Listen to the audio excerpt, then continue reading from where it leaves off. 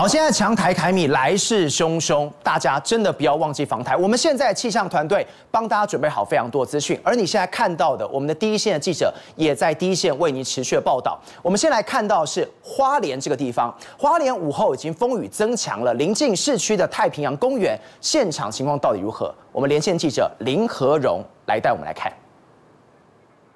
持续在花莲为您掌握强台凯米的第一手资讯。记者人目前位置就在花莲的太平洋公园。其实花莲从下午开始就下起了一波波的间歇性大雨，不过明显能感受到越晚时的时间呢，风是越来越强劲。往海面上看过去，也能看到长浪一波波的往岸上打过来，整个海面是雾蒙蒙的一片。因此海巡也早早就在岸边拉起了封锁线，就怕有游客误闯，想要。观浪，而海巡呢，只要看到呢有游客一靠近石阶，想要站，甚至站上去拍照，马上就会开着巡逻车来劝离，就怕游客误闯会发生危险。我们目前也可以看到太平洋公园除了浪。记者跟海巡呢，几乎是空荡荡的一片，因为游客呢看到这么大的风雨，也不会想要冒险前来观赏。不过呢，不还是有零星的部分游客会过来，所以呢，海巡也不敢掉以轻心，